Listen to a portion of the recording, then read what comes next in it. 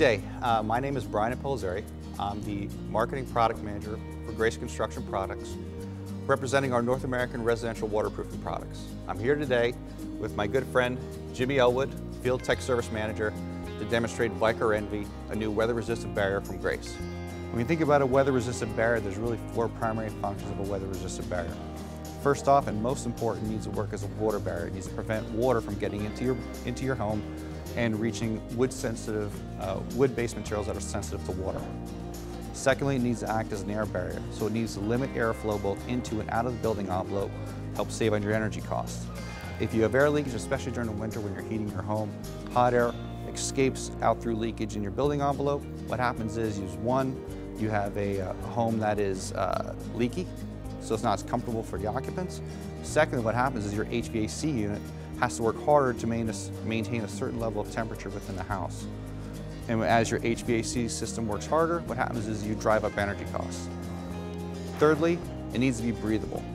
So it needs to allow for the, the uh, vapor transmission through the exterior of the envelope. So what happens is, using that same example I just talked about, you have warm air inside the house, you're heating your home, warm water vapor is transmitting towards the exterior, towards the cold sections of your house.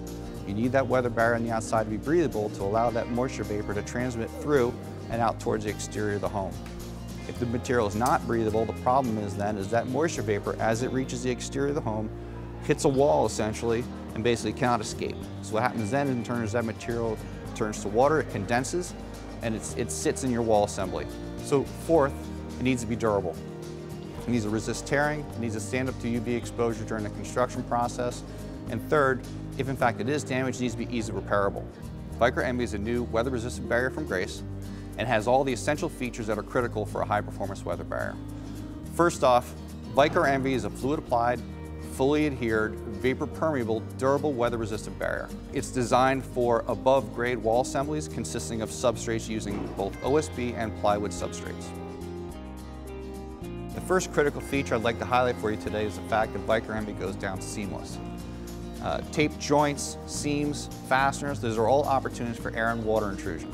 So what we'd like to do today is I'd like to turn over to Jimmy and he can demonstrate how we properly treat a joint. Thanks, Brian.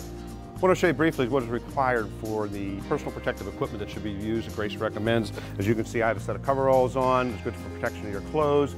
Basically, we use a 3M, uh, the P95 uh, dust and uh, nuisance respirator, and also some uh, nitrile gloves. So uh, that's all the, all the equipment that's required.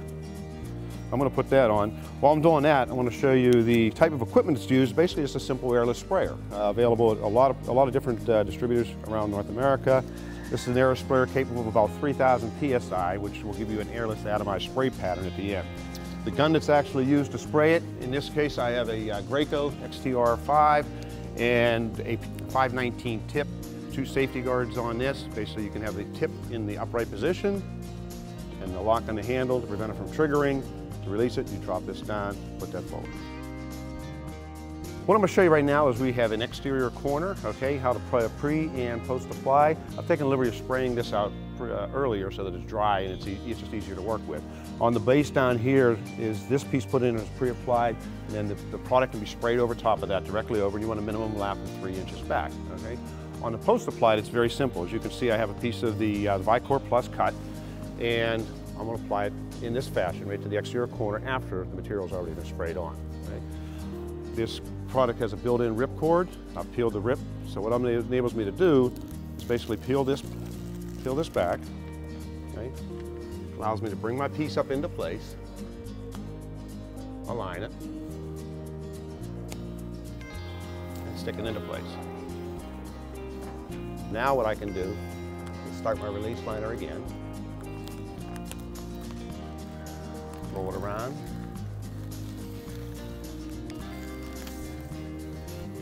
There you have a nice finished exterior corner. The final treatment to that is to roll it, okay? These are pressure sensitive adhesives, so this will roll out any, any air bubbles and prevent the migration of water. That's complete corner. What I want to do now is I'm going to demonstrate how to properly treat or pre-treat a, uh, an end joint or a side joint on your, on your panels. The application is going to be basically a, an 8 to 10 mil light scratch coat, and with that I'm going to embed the enV tape and uh, space it evenly across the joint. Uh, any joints that are greater than a half an inch, we want to make sure that we have these pre-caulked going down through. So you want to do an inspection through, get this material in place, let it dry, and then come back in. With that, I'm going to start the application. I'm going to show you a light scratch coat of 8 to 10 mils on an end joint and the side joint.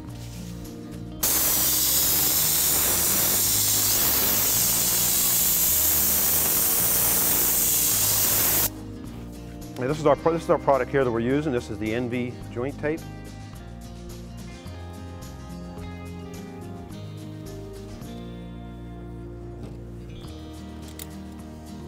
So use a razor knife to cut it, and then just basically embed it in.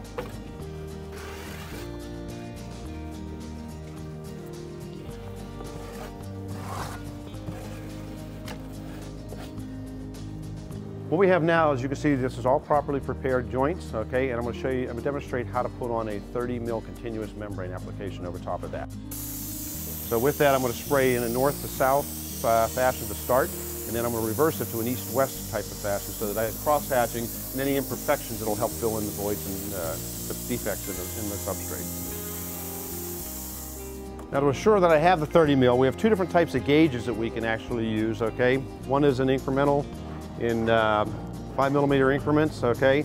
And to do it, you're basically going to have these points touch into the liquid into the liquid and see how deep it is. So we are looking for 30 mils continuous wet, which will dry back to 15 mils dry.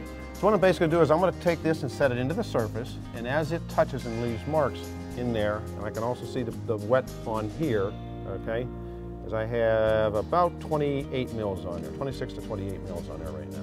So with that, I can just apply a little bit more, or I have a single point contact that as this sets in place, I can see that I've got, in this case, oh, close to 60 mils there, about 50 mils there. Okay, so what I just demonstrated there was a 30 mil continuous membrane spray applied, and in order to do that, we used a Spraytech 2510, capable of generating about 3,000 PSI, and it sprays about a gallon a minute. Another acceptable practice is being able just to roll it. So as simple as a, um, I call them a ladder for your immersion into a five gallon pail. That can be set in tight nap roller, okay? And we'll demonstrate this area in here with the actual roll application.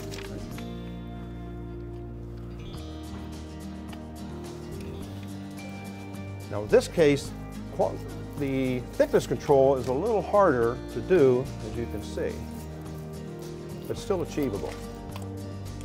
And this actually takes a little more time.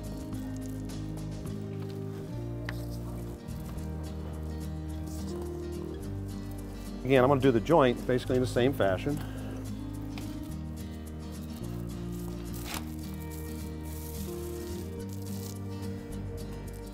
Okay. And there's your completed assembly. The first critical feature I'd like to highlight with Vycor enV is the fact that it's fully adhered. Well, after Jimmy has sprayed this product, in about six hours, this product will be dry to the touch. 24 hours will be fully cured. Important point I want to make, make here, though, is the fact that the material bonds directly to the substrate. There's no opportunity whatsoever for water to get past it because it forms a continuous barrier and protects that sheathing against moisture damage. Thirdly, another point I want to make is the fact that fasteners, as you have countersunk fasteners, again, as we sprayed the field, all those fasteners are covered as well. So any type of weak points are all coated and covered by the material itself. Okay, another point I'd like to highlight is the fact that um, enV is a very user-friendly application. You can do it more than one way. So if you have access to an air sprayer like Jimmy demonstrated, that's perfect, you can spray. But if you don't, you still, you can use a, a typical, a typical roller. You can roll the product on just as well. One thing I'd like to highlight, as I mentioned earlier, is it's important to maintain the integrity of the weather-resistant barrier. What I mean by that is any type of hole or penetration through that weather-resistant barrier is a potential entry point for water or air. Now what we've done here is I'm showing you here a couple post-applied fasteners um, to kind of simulate what would happen once you're putting on the exterior cladding of a home. You're putting thousands of additional penetrations through that weather-resistant barrier. And what makes enV different is the fact that once you put these, these products or these post-applied fasteners through the product, what enV does is it actually forms a gasket around that fastener. And we've actually verified this through ASTM air leakage and water resistance testing. It offers simplified detailing. Details around uh, the windows, doors, any types of penetration are really one of the most potential or the biggest weak points around the building envelope for air and water intrusion. What we have here, as Jimmy's demonstrated, we've already flashed a window. Details are the most critical areas around the building envelope where there's always a potential for air and water intrusion. And what I have Jimmy do is kind of show you how easy it is to get a real nice detail. Like I say, we've taken the, liberty of, flashing this window in, so it's, it's, the simplicity of this product is I can just basically spray it right around, and it, it allows me to either post or pre-apply. So in this case here, we've got the pre-applied application, and then to complete this detail, all I need to do is spray the 30 mil continuous membrane with a minimum lap back up on three inches on the, onto the membrane.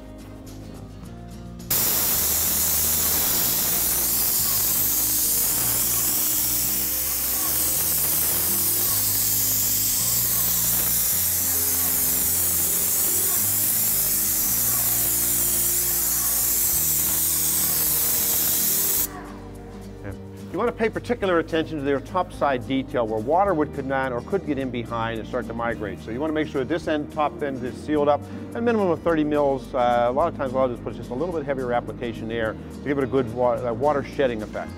Okay, and that would complete that detail. Okay, thank you for joining us today. And uh, if you'd like some more information on Vycor enV, please go to www.graceconstruction.com.